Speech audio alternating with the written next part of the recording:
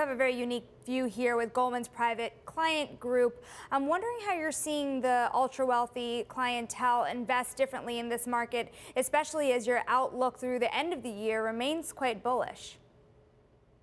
Uh, thank you very much for having me.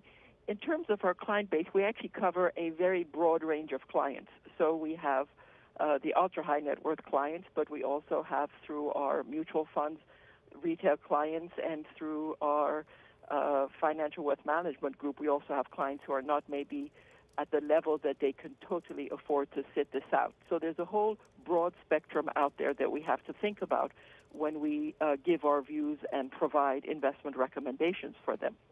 And it's mixed. At the end of the day, it's a function of people's tolerance for uncertainty and market volatility. We know that these uh, numbers that are coming out from an economic perspective all look very alarming, but we've never had a global pandemic of this kind in the lifetime of most people who are in the markets. So that's quite unusual. And in terms of how clients react, some people recognize that they can easily tolerate this volatility and can follow our recommendation to maybe start adding a little bit to their equity portfolio and reduce their fixed income or their cash positions. Other people are nervous and just want to set aside some cash and fixed income and be totally comfortable that they don't have to worry about mm-hmm. anything for a year or two, given the uncertainty. Not that anybody is expecting this to last in this current context for that long, but right. just for them to be comfortable. And then we have some people who just want to sit on the sidelines.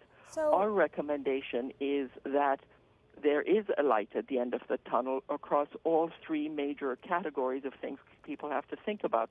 One of which would be in terms of the broad healthcare questions, whether it's shortages or whether it's therapies or vaccines mm-hmm. at some point in the future, preferably sooner for most things, we will have a light at the end of the tunnel. From an economic perspective, this stimulus has been very significant the monetary policy measures from the Federal Reserve have been not just very large, but also very broad, trying to make sure liquidity Sharmin, is available in the fi- just on that point, Sharmin, on that point, your ultra net worth clients, presumably some of them will have wanted to get their hands on some liquidity, maybe because they need to, or maybe because things look attractive at these points. How have you helped them do that? Uh, one thing that we've done since early February is host a series of client calls. And we've uh, tried to do a fair amount of education, provide information, and do handholding. So we'd like clients to be able to listen to, for example, what are people saying in the municipal market. So for U.S. clients that may have municipal bonds, there was a, some illiquidity in the beginning, and we wanted to go through all the various measures that have been taken to provide more liquidity. We would uh, have someone talk about, for example, credit quality in the municipal market, both in general, going into this crisis, as well as the benefits of the uh, CARES Act.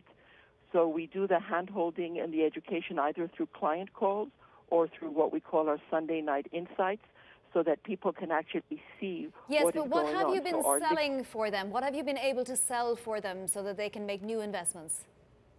Well, liquidity in both the fixed income high quality market as well as the money market area has improved substantially. Is it perfect? Of course not, with the volumes required. But clients who have asked to be able to sell some of their high quality municipal bonds, high quality treasuries, money market funds, including commercial paper, prime money market funds, over the last several weeks, mm-hmm. liquidity has improved, and they have been able to find liquidity there, so, either to keep it in cash or to put it into equity. As liquidity has improved here, how have clients been reacting to the changes in the market? What is the number one fear they still have in the middle of this uncertainty? I think the question about how the pandemic will, will evolve is top of mind. So if we look at the expected flattening of the curve, everybody, the every, and by everybody I don't mean us in terms of people in the financial industry, but everybody in terms of scientists, infectious disease specialists, biodefense specialists, their general view is that we are going to see a flattening of the curve with extreme social distancing.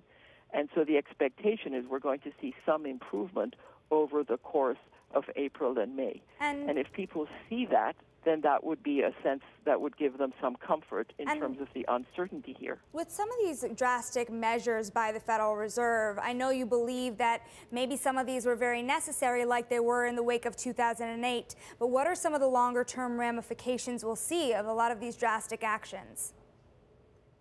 Uh, that's a question that many people are asking. What about the size of the fiscal stimulus? Uh, what does that mean for the increase in debt to GDP? What about the liquidity measures uh, of the Federal Reserve? I think the more important question is do we actually know what would have transpired without these? And the trade off is incredible downside now for some future issues down the road. And given our investment view that we've held now for about 10 years of American preeminence, and we could go through the reasons for that, our view it is better to deal with the issue with a sense of immediacy and then think about the debt burden down the road. Uh, people raised these questions in 8 and they said, what does this mean in terms of the Fed balance sheet and the size of the balance sheet?